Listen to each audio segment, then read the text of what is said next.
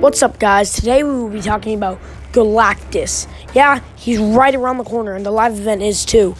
We will also be discussing winter theme stuff, Spider Man theme stuff, and the all of the next season map. So make sure to drop a massive like and tell me if you like the video down below.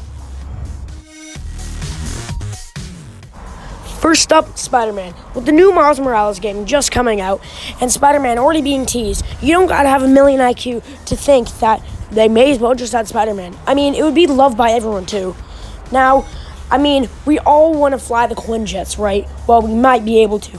In the live event, there has been codes in Fortnite's files that we might be able to drive the Quinjets. That's right, we'll be able to fly them around with all our friends, but it will only be through for the Alive event. But I'm still excited for that. What about all of you guys? Next up, we got something big. Okay, you gotta prepare your ears for this. Like, when I heard about this, I was a bit shocked jump pads come back. Yep, knew it. Love it. Also, we are going to have bushes coming back. Hopefully, they'll be good in competitive uses. Also, with Rift-To-Gos, same thing. Hopefully, good and competitive. Uh, it will be really cool to see these things coming back in the new season with all the new items, better players. We'll see how they are. I reckon they're going to be awesome.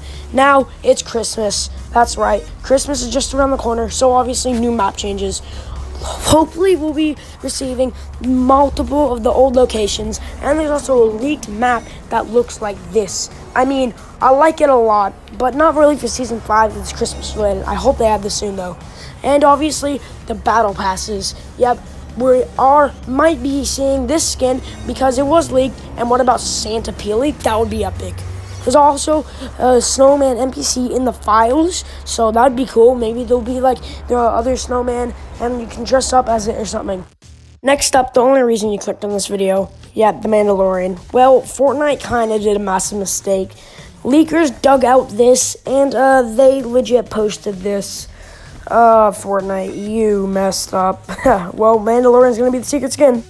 But then that gets me thinking, what if it's not the secret skin? Season 2 had Deadpool, Season 3 Aquaman, this season uh, it had Wolverine, so what if next season is DC? I mean, it would make sense, but not really because it's Christmas themed.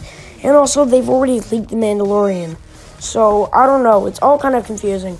But, and it would make sense because Black Widow 1984 releases on Christmas Day, which is right when the season re- releases almost. And we just had a new DC bundle. So, well, I think that's it for the video. Hope you liked it. Make sure to smash, subscribe, and like. See you next time. Why you always in the mood?